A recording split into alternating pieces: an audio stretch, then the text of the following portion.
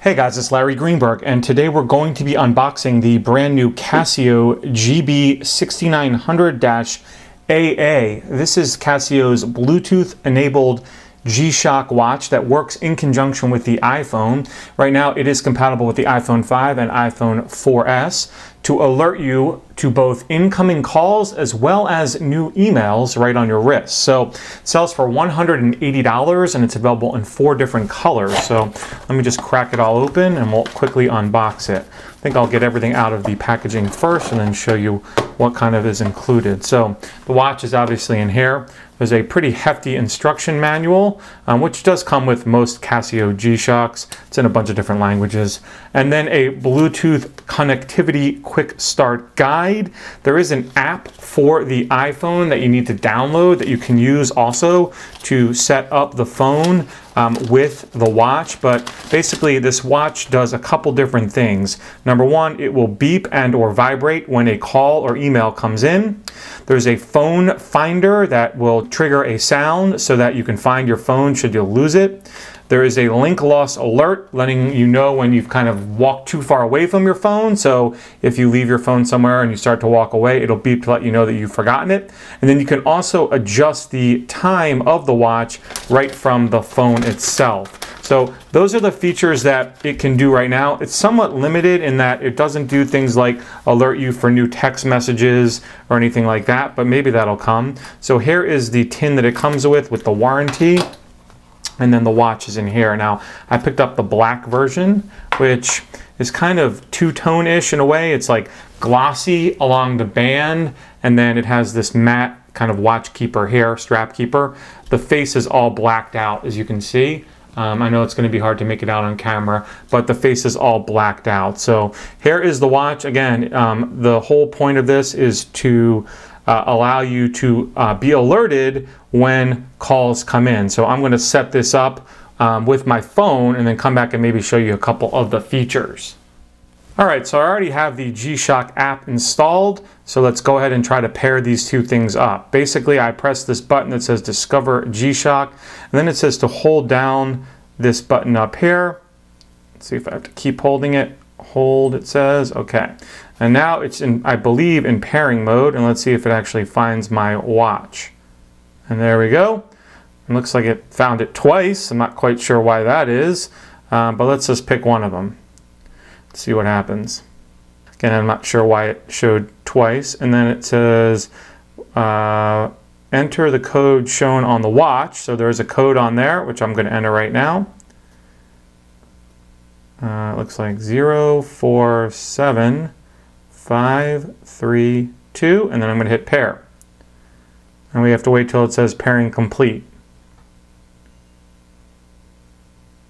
I just felt the watch vibrate. That's a good sign. And now it's connected, as you can see right there. Um, let's see, there's some settings in here. So alert notification, incoming call, that's turned on. Mail, also on. Then you actually have to add an account. So you actually have to set up the mail account through here. Now it, it doesn't allow you to read your mail here. It just lets you know when new mail shows up, which is kind of cool. You don't have to have you know the push notification setting turned on in uh, your mail app itself. Here is the um, phone finder feature. So there are some different sounds that I can play, I guess to try to find my phone. And then finally, time adjustment. So I can send the time and date data right from here directly to the watch. Now it's already set as you can see, but I'll just send it again and it'll reset it I guess, even though it's already set. One of the cool things about the watch is it will go into sleep mode by itself. So if you're not using it, it will kind of turn itself off and it has a sensor inside so that when you pick the watch back up, it automatically reconnects and pairs itself back up to the phone so you can start using it again. Um, let's see what else is in here. Skin. Uh, let's see, do you want it to be white or black? That's for the app. Uh, language, and then you can remove the pairing process. So everything seems to be all connected right now. I guess the next step would be to try an incoming call. So let's give it a whirl. I'm gonna off camera dial my cell phone number and see what happens on the watch. So it's ringing. Let's wait for my phone to start ringing. So you can see.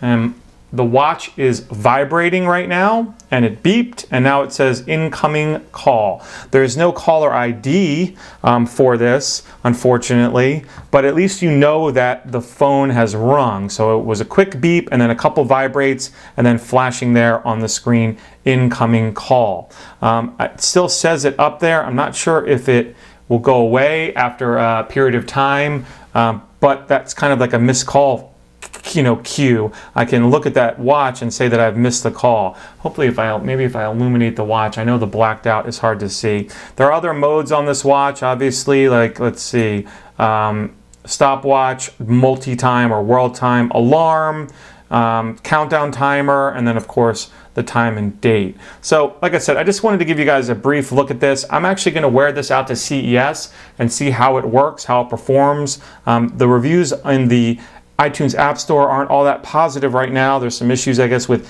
disconnecting, but I want to try it out and see how it works. And, um, you know, I'll report back with my full review when I come back. So that's been a brief look at the brand new Casio GB6900-AA. Remember, this is the iPhone Bluetooth watch from Casio, available for 180 directly from um, your local G-Shock dealer. I will put a link to a couple different places where you can check this out in the video description. As always, if you have any questions about what you saw here today, you know you can drop me a line. Otherwise, you have a great day.